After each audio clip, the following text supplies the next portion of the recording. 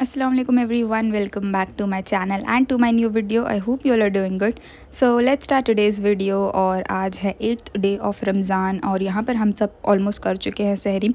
तो सहरी में अम्मी ने बनाया था पराठा और मुझे बिल्कुल भी मन नहीं करता आजकल सहरी खाने का। तो यहाँ पर मुझे लास्ट में याद आया कि मैं क्यों ना अपने लिए लस्सी बना लूँ।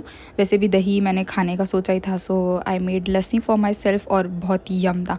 तो मैंने डिसाइड किया कि अब मैं रोज़ हर सहरी में लस्सी ही पीने वाली हूँ and nothing else so so, या yeah, यहाँ पर मैंने पानी भी पी लिया एंड थोड़े बहुत बर्तन थे जो मम्मा ने लगा लिया और फिर मम्मा ने बोला कि ये जो गैस क्लीनिंग का काम है वो इतना टाइम ही मतलब सैरी के वक्त ही कर लेते हैं वरना क्योंकि मैं सुबह में काफ़ी ज़्यादा लेट उठती हूँ सो के।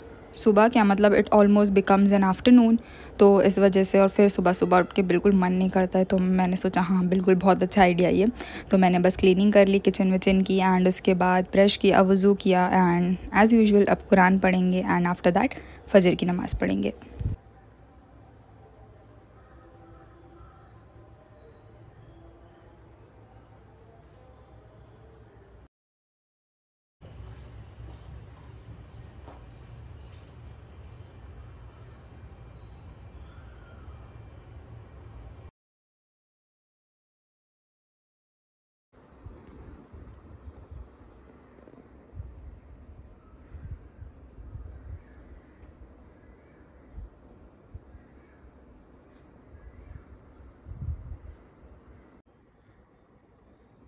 जस्ट लुक एट हिम अभी दो मिनट पहले मस्ती कर रहा था यहाँ पर आके।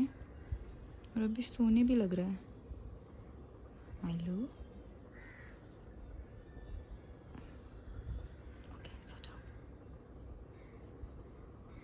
जाग रहा है ये नौटंकी। सो आफ्टर नमाज़ and Quran I came into my room to sleep और यहाँ पर वेरी अनयूजल माइलो मेरे बेड पर था। ये आता नहीं है वैसे मेरे बेड पर, सबके बेड पर जाएगा बस मेरे ही बेड पर नहीं आता है। तो यहाँ पर आया, मुझे लगा सोने के लिए आया है, मगर थोड़ी देर के बाद इसने अपना असली रूप दिखा दिया। जस्ट लुक एट हम बदतमीज़।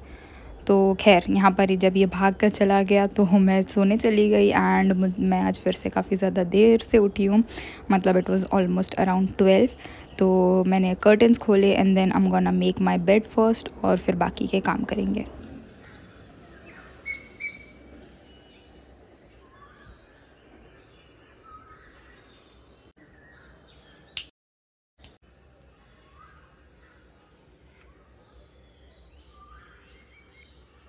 Okay so I made my bed और दूसरों के, बाकी हो गए रूम के भी मैंने बेड शीट सही किए. एंड देन यहाँ पर कुछ सूखे कपड़े रखे हुए थे सो आई फोल्डेड देम मतलब थोड़े फोल्ड किए मैंने. आधे छोड़कर मैं ऐसे भाग गई थी. उसके बाद I'm gonna collect this water bottles and keep it in kitchen on kitchen counter और फिर बाद में इसे फिलअप भी करना है. So after filling up these water bottles I'm gonna take shower तो मैं जल्दी से वाटर से अपने कपड़े निकालूँगी एंड बस शार लेना इसके बाद.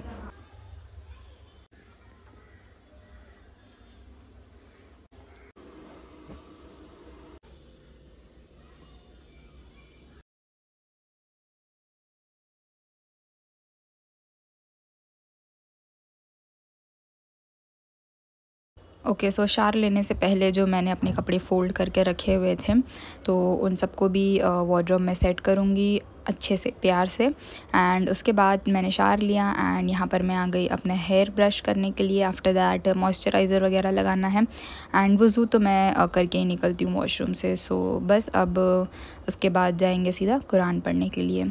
So here it was time around one o मतलब क्योंकि मैं उठी ही काफ़ी देर से थी तो मुझे काफ़ी ज़्यादा देर हो गई। इस वजह से मैंने फिर कुरान भी काफ़ी देर तक मतलब कुरान पढ़ते हुए मुझे काफ़ी ज़्यादा लेट भी हो गया था। मतलब इट वॉज़ अराउंड वन जब मैंने जहर की नमाज़ पढ़ी आज। तो it was quite late but ठीक है, अलहमदिल्ला I manage to complete two paras and बाकी का जो है मैं इंशाल्लाह मगरिब के बाद पढ़ूँगी।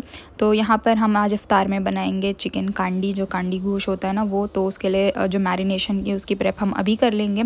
तो इसकी दो बार मैरिनेशन की जाती है तो जो फ़र्स्ट मैरिनेशन है वो अभी हम करने लग रहे हैं अम्मी ने। बोनलेस चिकन ले लिया है, उसको ऐसे छोटे छोटे पीसेस में कट करके उसमें ऐड करेंगे सॉल्ट एंड लेमन जूस तो बस उसको इसी तरीके से मैरिनेट होने के लिए छोड़ देना है for at least ten to fifteen minute minutes तो मैंने सोचा जब तक वो मैरिनेट हो रहा है तब तक मैं थोड़ी देर के लिए और कुरान यहाँ पर रिसाइड कर लेती हूँ। और आप चाहें तो उसको और टाइम के लिए मैरिनेट कर सकते हैं बट हमारे पास इतना ज़्यादा टाइम नहीं था। सो so, उसके बाद टेन टू फिफ्टीन मिनट्स के बाद यहाँ पर हम वापस किचन में आ गए और यहाँ पर चिकन ने काफ़ी ज़्यादा पानी जो है वो रिलीज़ किया होता है। तो बस सारे पानी को अच्छे से स्क्वीज़ आउट करेंगे एंड देन इसमें बाकी के जो मसाले हैं वो ऐड करेंगे। तो सबसे पहले इसमें चला जाएगा चिकन में जिंजर गार्लिक का paste it was around one tablespoon green chilli का पेस्ट था हाफ़ टेबल स्पून आप कम ज़्यादा कर सकते हैं। हल्दी पाउडर था, चिली फ्लेक्स हमने ऐड किया था हाफ़ टी स्पून और कॉर्नफ्लावर था हमारा वन टेबल स्पून भर के। और उसके बाद यहाँ पर हमने एक कोई भी आप स्पाइस मिक्स ऐड कर सकते हैं अपने अकॉर्डिंग जो आपको पसंद है। हमने टिक्का मसाला ऐड किया था आप गर्म मसाला कुछ भी ऐड कर सकते हैं। और उसके बाद एक एग जो हमारा पहले से ही रखा हुआ था फ्रिज में तो हमने वो ऐड किया और थोड़ा सा फ़ूड कलर भी ऐड किया। तो बस इसको इसी तरीके से रख देंगे। मैरिनेट होने के लिए शाम तक इसे हम फिर शाम को फ्राई करेंगे। So now it is five P M और शाम को यहाँ पर मैंने सबसे पहले जो छोले हैं उनको बॉईल करने के लिए रख दिया क्योंकि आज मैं बनाऊँगी छोले चना चाट या सिंपली चना चाट कहते हैं या जो भी कहते हैं उसे तो वो बनाऊँगी। तो मैंने छोले जो है उनको बॉईल करने रख दिया है एंड यहाँ पर मैं फिर वज़ू करूँगी जल्दी से और फिर उसके बाद असर की नमाज़ पढ़नी है। तो नमाज़ पढ़ने के बाद मैं आ गई डायरेक्टली इनटू किचन आज बहुत ज़्यादा कुछ मेन्यू में नहीं है। हम लोग बहुत सिंपल सी चीज़ें रखने वाले हैं आज। तो सबसे पहले तो जो कांडी गोश्त के लिए शिमला मिर्च एंड जो अनियन है, उनको कट कर लूँगी। क्यूब्स में बड़े बड़े क्यूब्स में हमको लगने वाले यूज़ आएँगे तो वो कट कर लिया है मैंने एंड उसके बाद जो हमारा चना चाट बनेगा, उसके लिए चॉप्ड अनियंस चाहिए, मुझे टमेटोज़ चाहिए तो बस वो सारे चॉपिंग का काम अभी कर लेना है मैंने। तो ये तो हो गया ख़त्म। एंड यहाँ पर जो मूंग दाल अम्मी ने सोख करके रखा था तो उनको भी मैंने ग्राइंड मिक्सी ग्राइंडर में अच्छे से पीस लिया है। उसके हम पकौड़े बनाएँगे। एंड यहाँ पर लौकी है ये इनको पील ऑफ़ करके मैंने इस तरीके से पतले पतले स्लाइसेस में कट कर लिया है क्योंकि इसके भी हम पकोड़े बनाएँगे। एंड इसके पकोड़े हम सबको बहुत ज़्यादा पसंद है हम सबके फेवरेट हैं। तो बस यहाँ पर आ, मैंने ना मिंट एंड कोरिएंडर की चटनी भी बना ली है। आई नो हमारे पास क्यूब्स रखे हुए हैं बट स्टिल हमारे पास जो मिंट लीव्स है ना वो बस लास्ट बैच बचा हुआ था वो इसके बाद ख़त्म हो जाएगा। और यहाँ चना चाट की प्रेप मैंने स्टार्ट कर दी है पैन में लिया है ऑयल और उसमें थोड़ा सा ज़ीरा डाला, उसके बाद जो बॉइल्ड छोले थे वो चले जाएँगे। इसमें चला जाएगा थोड़ा सा चिली फ्लेक्स ज़ीरा पाउडर और धनिया पाउडर अपने टेस्ट के अकॉर्डिंग कम ज़्यादा कर सकते। मैंने बहुत थोड़ा थोड़ा क्वान्टिटी में डाला था।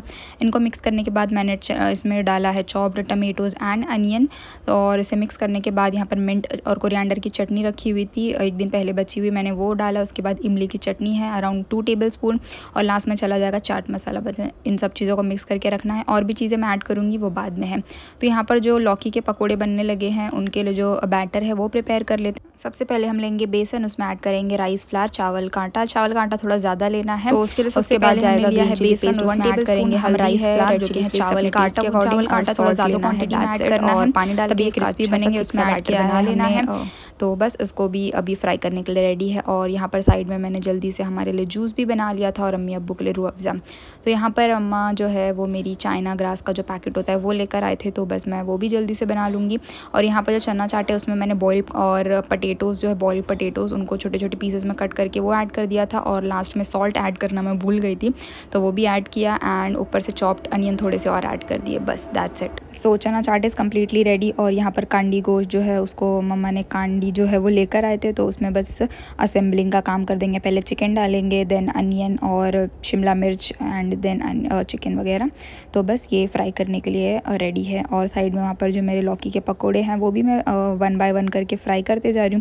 और लौकी के पकौड़े को फ्राई करने में बहुत ज़्यादा टाइम लगता है। इसके लिए if you are making it तो कोशिश करें कि थोड़ा जल्दी स्टार्ट करें because it consumes lot of time और यहाँ पर साइड में मैं चिकन भी जल्दी से फ्राई कर लूँगी एंड यहाँ पर बस लास्ट चीज़ जो बचती है वो है हमारे मूंग दाल के जो पकौड़े हैं, वो तो बस ये भी फ्राई हो जाएँगे और दैट्स इट फिर उसके बाद हमारी अफ्तारी कम्प्लीटली रेडी हो जाएगी। सो so, या yeah, अफ्तारी हो चुकी है कम्प्लीटली रेडी और अब हम सब बैठ कर दुआ करेंगे और अफ्तारी करेंगे. And this was it for today's video if you guys like it give it a thumbs up and please subscribe to my channel मिलते हैं इंशाल्लाह कल के व्लॉग में. तब तक के लिए ढेर सारा ख्याल रखिए. Stay positive keep smiling stay healthy bye bye Siya